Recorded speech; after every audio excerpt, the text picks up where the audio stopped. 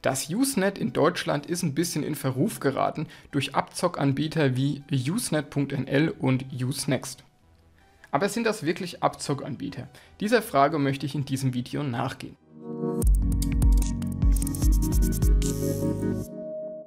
Usenet.nl und Usenext fallen durch ihre aggressive Werbung im deutschen Raum auf. Viele Dateien in Deutschland werden über sogenannte One-Click-Hoster heruntergeladen. Dort sind aber auch oft Dateien offline. Ist das der Fall, gibt es oft Werbung von Usenet.nl und sagt, haha, bei uns findest du die Datei noch. Das ist meistens nicht richtig, denn Dateien, die auf One-Click-Hostern liegen, findet man in identischer Form so nicht im Usenet. Das sind zwei völlig verschiedene Welten und das Ganze funktioniert auch anders. Deshalb ist mein Rat, nicht das zu verwechseln. Also wenn man auf einem Link-Krypter zum Beispiel ist und dort wird Usenet-Werbung angezeigt, ist das meistens nicht richtig oder ich sag mal unseriös, denn diese Dateien, die dieser Link-Krypter da vorhält, werde ich nicht im Usenet finden. Das sind zwei völlig verschiedene Welten. Trotzdem kann man natürlich Urlaubsfilme und Urlaubsbilder im Usenet herunterladen. Das ist ja nicht die Frage. Prüfen wir doch mal die Werbeversprechen von Usenext und Usenet.nl. Also interessant finde ich hier zum Beispiel die Formulierung 100% anonym. Kann ich nicht ganz nachvollziehen, denn wenn ich mich dort registriere, muss ich eine Kreditkarte oder PayPal hinterlassen. Da ist also nichts anonym. Man kann natürlich sagen, der Zugang zum Usenet ist anonym, aber 100% anonym würde natürlich auch mein Konto mit einschließen. Dann müsste man vielleicht sagen 90% anonym oder so. Also das ist schon ein Werbeversprechen, das ich ziemlich dubios finde. Hier steht jetzt auch noch Highspeed-Zugang mit bis zu 250 GB. Schauen wir uns mal die Pakete an. Und ich finde hier keine 250 GB. Man bekommt mehr sogar. Oder weniger, je nachdem wie man rechnet. Man bekommt hier ein Highspeed-Volumen und man bekommt hier eine Flatrate mit 2 Mbit pro Sekunde. Aber wo diese 250 jetzt herkommen, keine Ahnung. Ich habe auch versucht, das irgendwie aufs Jahr hochzurechnen, komme ich auch nicht hin. Ich weiß es nicht. Also das ist schon mal ein bisschen unseriös, würde ich sagen, wenn ich mit Sachen werbe, die irgendwie gar nicht in meinen normalen Verträgen stehen. Auch wenn man in dem Fall theoretisch mehr bekommt. Ja, zurück zu dem anderen Anbieter, der im deutschen Raum sehr prominent vertreten ist. Das ist Usenext. Und die Angebote von diesen Anbietern, also von Usenext und Usenet NL, ähneln sich schon in so einigen Punkten. Also das ist schon verdächtig. Schauen wir uns mal die Angebote von Usenext an. Hier zahle ich 8 Euro im Monat bei 12 Monate Laufzeit und bekomme einen High-Speed Usenet-Zugang von 30 GB im Monat. Tatsächlich, 800 Mbit pro Sekunde ist natürlich Highspeed, vor allem für deutsche Verhältnisse, aber nur 30 GB im Monat, das ist schon sehr wenig. Wenn man aber genau nachliest, liest man hier, dass man 2 Mbit pro Sekunde dauerhaft bekommt. Das gleiche wie also auch bei Usenet.nl. Sind diese 30 GB verbraucht, geht es mit Schneckengeschwindigkeit einfach weiter. So könnte man irgendwie um die 600 GB im Monat theoretisch laden, wenn der Computer durchläuft, was natürlich auch wieder Stromkosten verursacht. Es gibt hier auch noch andere Tarife, also hier wird es dann richtig teuer mit 26,95 im Monat, da bekommt man dann 300 GB monatlich mit dieser hohen Geschwindigkeit. Aber auch hier habe ich schon gesehen, gibt es relativ dubiose Werbeversprechen. Ähm, zum einen, hier unten habe ich uralte Tests, also da sagt das PC-Magazin vor sechs Jahren mal, dass das wohl sehr gut ist. Gut, wenn man sich mit so altem Zeug rühmen muss, ist ja auch schon mal komisch.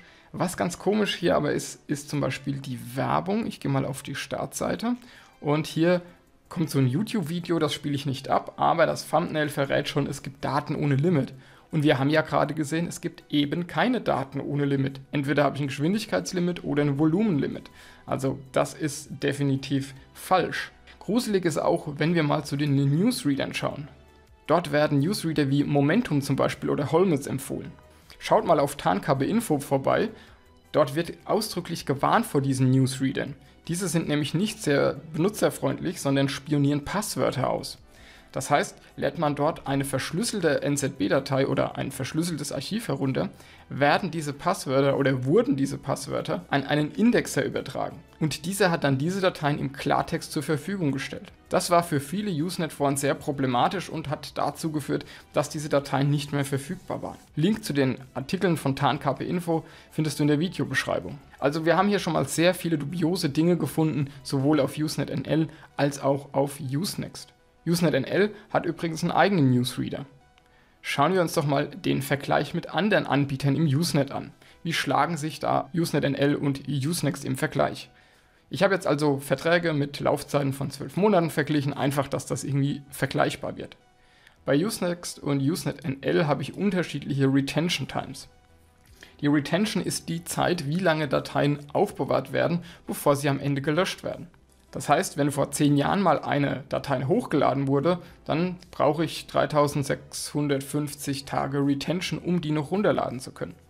Das heißt, bei Usenet NL wäre das dann dabei, also da geht es 10 Jahre zurück. Bei Usenext ist die Zeit kürzer, da habe ich die Angabe von 2705 gefunden. Die Konkurrenz ist da aber deutlich besser aufgestellt. Sowohl News Hosting als auch EWK bieten deutlich über 4000 Tage Retention. Wie sieht es aber bei den gleichzeitigen Verbindungen aus? Bei Usenext konnte ich dazu gar keine Angabe finden, finde ich dubios, denn diese Zahl muss man am Ende im Newsreader einstellen können. Wenn ich dazu keine Angabe finde, habe ich prinzipiell mal ein Problem. Bei Usenet NL habe ich die Angabe 16 gefunden. Das ist im Vergleich auch wieder relativ niedrig. Bei EWK zum Beispiel bekomme ich 50, bei News Hosting bekomme ich 30. Das wird dann übrigens interessant, wenn man Account Sharing betreiben will oder halt hohe Geschwindigkeiten hat. Ja, Newsreader, das Thema hatten wir ja schon. Bei Usenext habe ich keine Newsreader, es werden aber dubiose und gefährliche Newsreader empfohlen. Bei Usenet NL habe ich einen Newsreader wohl dabei. Das können aber auch andere Anbieter wie zum Beispiel News Hosting anbieten. Bei EWK gibt es direkt keinen Newsreader, aber einen empfohlenen und der heißt eben Newslaser oder Newslatzer oder wie auch immer man das spricht. Es gibt zumindest einen empfohlenen und der hat auch eine Suche integriert. Der ist also an einen Index angebunden und ich habe am Ende den gleichen Komfort, wie ich auch bei News Hosting hätte. Wo ist denn der Limit des Datentransfers? Und da habe ich extra die Formulierung High-Speed Limit gewählt. Das haben wir ja vorhin gesehen, dass Usenext und Usenet NL diesen Trick mit, ja, wir haben eine Flatrate machen, aber wir drosseln die eigentlich. Und wenn ich diese Tarife eben vergleiche, dann komme ich darauf, dass bei Usenext 30 GB und bei Usenet NL 35 GB aufgerufen werden, als Limit für die hohe Geschwindigkeit. Sowohl bei News Hosting als auch EWK sind diese Geschwindigkeiten komplett unlimitiert. Bei News Hosting habe ich auch mal einen Geschwindigkeitstest gemacht, blende ich mal in der Infokarte ein. Dort habe ich das Gigabit so gut wie ausreizen können. Bei Usenet NL finde ich jetzt gar keine Angabe zur Geschwindigkeit, finde ich aber auch undramatisch, denn das ist bei 35 GB eigentlich eh egal. Das ist so wenig, was man da laden kann. Ob das dann besonders schnell geht, naja, keine Ahnung. Kommen wir aber zum Preisvergleich. Also dafür, dass ich für 8 Euro im Monat nur 30 GB bekomme, finde ich das einen schlechten Scherz. Oder zumindest 30 GB mit der hohen Geschwindigkeit. Bei News Hosting habe ich ja beides unlimitiert und direkt auch den Newsreader mit dabei. News Hosting würde sich also direkt mit Usenet NL vergleichen lassen, die ja auch diesen Newsreader mitbringen. Allerdings habe ich fast alles, was hier quasi als Vergleichswert dient, in besserer Form. Nämlich eine längere Retention, mehr Verbindungen, High-Speed-Limit habe ich gar keins und eine Geschwindigkeit ist auch unlimitiert. Ich habe also nicht diese Drosselverbindung dann nach irgendeinem Limit oder so. Und das würde ich halt hier für 11 Euro bekommen, also für einen kleineren Aufpreis im Monat. Ganz günstig ist aber natürlich EWK, damit habe ich ja fast auch alle Vorteile, die die anderen anbieten. Ich habe eine viel höhere Retention-Zeit, ich habe sogar noch mehr Connections, das muss nicht unbedingt ein Vorteil sein, aber lassen wir das mal so stehen. Ich habe ein Highspeed, ich habe kein Highspeed-Limit und ich habe eine durchgängig hohe Geschwindigkeit und das für gerade mal 7 Euro im Monat. Und damit schlägt halt EWK alle anderen Provider und mit, äh, mit diesem News Laser kann ich auch bei EWK das Ganze nachrüsten um einen Newsreader.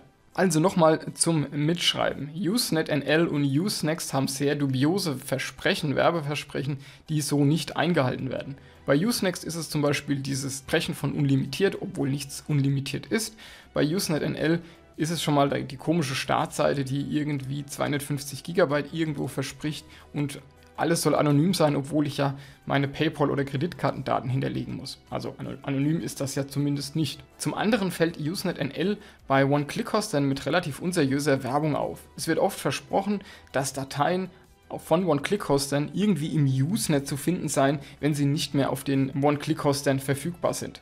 Das ist Unfug. Usenet und One-Click-Hoster sind zwei getrennte Welten und diese Dateien wird man in dieser Form dort nicht finden können. Wer sich also für Usenet interessiert, der sollte nicht zu Usenext und nicht zu usenet.nl gehen. Ist zumindest meine Meinung. Das Preis-Leistungs-Verhältnis ist absolut unterirdisch, gerade durch diese Limits, die hier gesetzt werden. Ich danke dir bis dahin fürs Zuschauen und wenn dir dieses Video gefallen hat, dann freue ich mich natürlich über ein Abo dieses Kanals. Wenn dich weitere Usenet-Themen interessieren, dann kommentier mir doch mal bitte, über was ich noch ein Video machen sollte. Ansonsten blende ich dir jetzt den Outro ein. Hier gibt es noch eine ganze Playlist zum Usenet, falls es dich noch weiter interessiert, das Thema.